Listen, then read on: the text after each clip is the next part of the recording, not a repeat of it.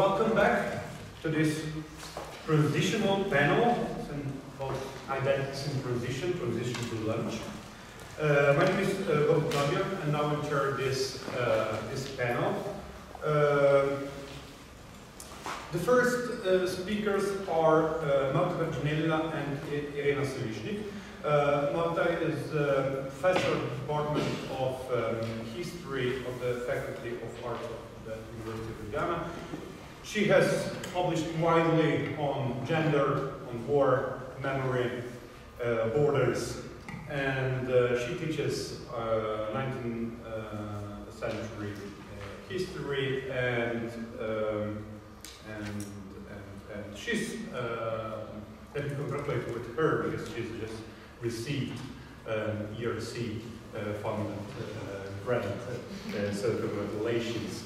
Uh, the other speaker is uh, Irena Selišnik. She's a assistant professor at the, uh, she got a PhD from the University of Ljubljana and she also works on gender and civilian history in the 19th uh, century and she's an assistant professor at the Department of History of the Faculty of Arts. Uh, Marta and Irena, so please, the floor is yours. Yeah, first, yeah, the, the paper be uh, in two parts. The first part uh, be given by Martin, the second one by Ida. Yeah? Uh, thank you for the invitation. Thank you also for invitation this um, very interesting uh, symposium conference. Uh, in this our presentation, we, we will analyze autobiographical sources, letters, diaries, memoirs of the first publicly active women in Slovene lands. Uh, we will see how they understood their national identities in the manner in which they declared themselves. We will present how they describe their own engagement in the national movement and what, what kind of testimonies they left behind about their position in a multinational environment and elsewhere in the Habsburg monarchy. In the analysis, we will present the period of the second half of the uh, 19th century to the beginning of the 20th century together with three groups of women, national ladies, teachers, and intellectuals and artists. Um, now I introduce um, shortly um, in conceptual um, uh, way. Before dealing with the modes and forms of their self-identification on a more concrete level, several methodological and, and interpretative questions triggered by the discussion of the national identity should be addressed particularly when its analysis or identification is based on autobiographical sources, either by means of the term current press or contemporary writings. What we refer to with the term identity, which is a highly elusive and ambiguous term, will for the time be being laid uh, aside. aside. It is an unwritten rule of the autobiographical sources that they are subject to the autobiographical contract, i.e. to the commitment which, according to Philippe, um, Philippe Lejeune, writers make to themselves. As a narrator, one decides how one will be dealt with and presented, presented as the protagonist of the narrative, the decides on the register, on tone, and the readership or the public for which one is writing. Speaking about oneself means to form image, to arrange an autobiographical topic into a coherent narrative, which is, as a, as a rule, acceptable for the period and environment of its origin. Last but not least, the autobiographical part implies also the elimination of numerous instances of incoherence and contradictions, which are part and parcel of one's life. The autobiographical contract is a key which defines autobiographical writing. The moral or literary intention which usually justify autobiographical writing are intervened also in our cases. Memoirs are, as argued Sigmund Freud and Leonardo da Vinci, a memory of his childhood, associated with alteration, falsification, concealment, projections of fantasies. We believe that also the narrative of the mm, analyzed autobiographical sources is the result of adaptation, distortion, and idealization, that the truth um, was sacri- sacrificed for the illusion. Just every other memoirist, our women authors give meaning to past events, concentrating on specific experiences according to the period and environment their writing came into being and what is of interest to us defining their national identity and giving meaning to their national activities. We will establish if their self-image is coherent with the image conveyed by other sources, uh, first and foremost the press, and also uh, other uh, publications. So um, let me start with um, national ladies from the second half of the century. For this one, you find one prototype in Augusta Šantel uh, Senior. So we basically looked her memoirs and the memoirs of her daughter, Augusta Šantel uh, Jr. So uh, Augusta Senior was born in 1850 to Hugo, noble of Eingentel from Graz. Um, in her memoirs, she also wrote about her mother, uh, who was Enrica Fischer, um, the daughter of a Slovene from Črnice in the Vipava Valley, and the sister of the Galician painter uh, Tominc. Uh, she grew up in a Tominc family. Uh, Henrika spoke Italian and Friulian. However, since the family was in possession of several estates, um, Henrika also learned Slovene during her stay in the countryside. Uh, she learned German only later when she was married to her husband and she moved to Steins. Um, Henrika, basically, uh, her German was very poor um, because her father did not allow her to speak Italian with the, the children. Um, she basically mixed Slovene and German words, as for example, uh, gusti mine, mi auto. The same also her daughter Augusta spoke basically very poor uh, Slovene. She learned Slovene during her childhood in Ljubno and from her grandmother. and um, she visited the German schools. And only later, as she married Anton Schankel, she basically started to use more Slovene language because the husband demanded that she speak Slovene with the children.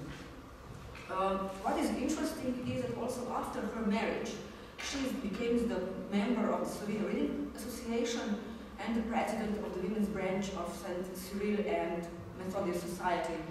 This was basically the Slovene association which gathered money for Slovene schools and kindergarten. Um, what is also interesting in her memoirs is that she basically does not mention these activities in these Slovene associations, while her uh, daughter, Augusta Jr., only briefly brings up her mother's position as president of the Women's uh, Association, um, placing this sentence in the uh, parenthesis. Augusta activity is only briefly mentioned also in her son's memoirs, um, while, for example, if we look to the press, we see a much more uh, signs of her activities in this association. Um, she was the president of the Society of San Cyril and Method. She was also um, very engaged in the women's department of the society, Šolski Dom, and was also one of the organizers of the fundraiser in the Mauritian Reading Association.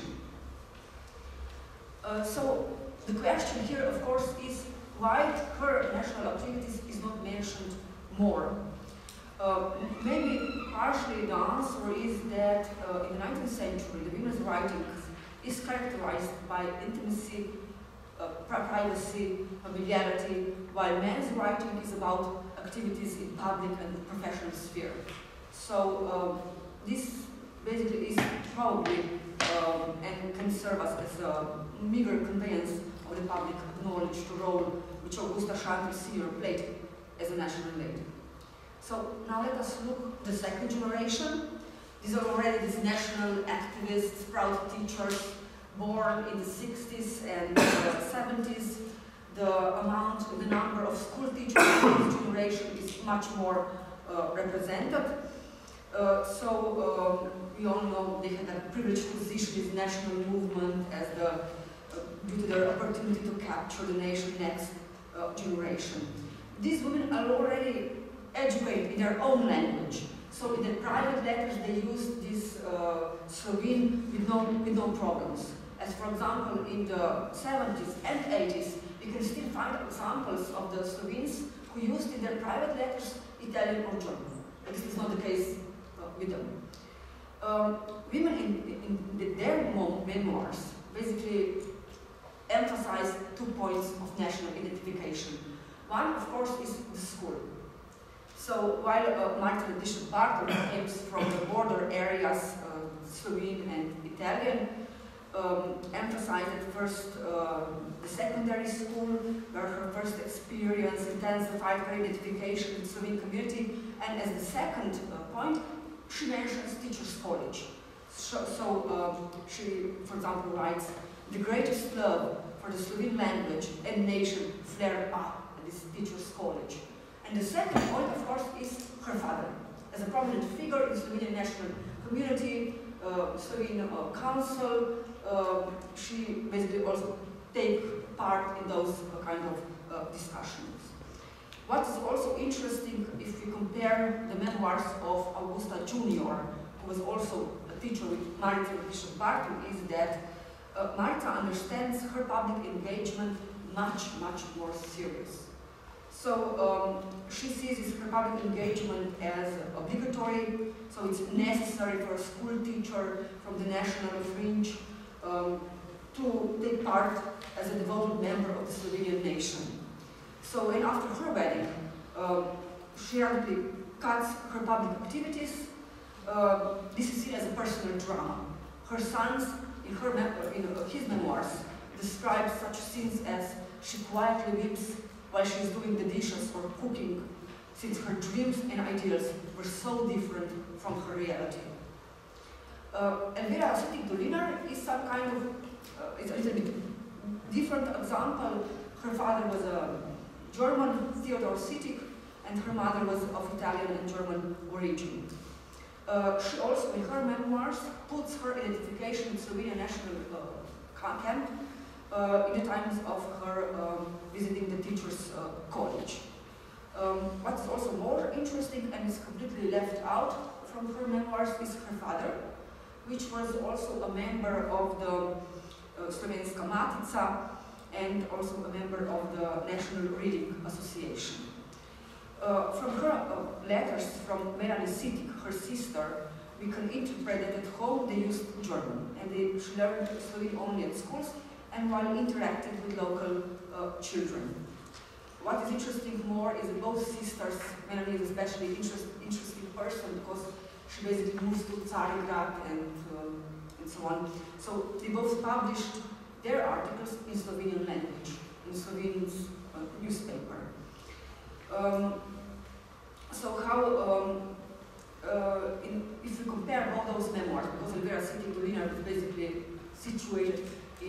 Carniola, so this majority Slovene uh, territory, is that, for example, um, I have here one more interesting uh, citation from another teacher, Marita Sternat. I prefer Italians to Germans. Yet, due to the material benefits, I would be rather under the German government. Such kind of statement would not be possible uh, in Marica Bishop writings. It would be something completely unacceptable. So Elvira Sittig Dolinar wrote about uh, Slovenian national conscience, the usage of Slovene uh, language, but she again completely left out in her memoirs her engagement, uh, for example, um, in different uh, associations as uh, Method Association and uh, on. So in, in, her memoirs, this is again left out. Um, in, the, her interwar memoirs, so briefly mentioned her national identification in a secondary school, uh, and after the first, after the Second World War, she again wrote two more memoirs, but again only one. This national identification is briefly mentioned, and uh, much more it's about women's emancipation and her uh, intimate struggles with uh, her husband and um, family. What is also interesting uh, with those two is uh, how this imperial context works for both of them. So, uh, for example, as uh, Marica Nadlišek, uh, Bartol is much more pan-Slavic orientated. She basically published her articles in Czech and Ukraine newspapers. While, for example, while uh, Elvira Sigurina, she has no problems, published her articles in Germany in Österreichische Zeitung, Schule und Haus, or Österreichische Volkszeitung.